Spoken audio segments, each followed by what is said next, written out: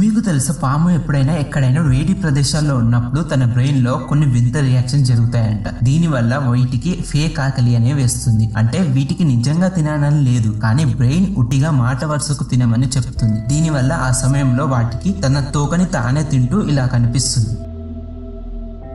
ఈ ఫ్యాక్ట్ కానీ మీకు నచ్చినట్లయితే ప్లీజ్ సబ్స్క్రైబ్ మై ఛానల్.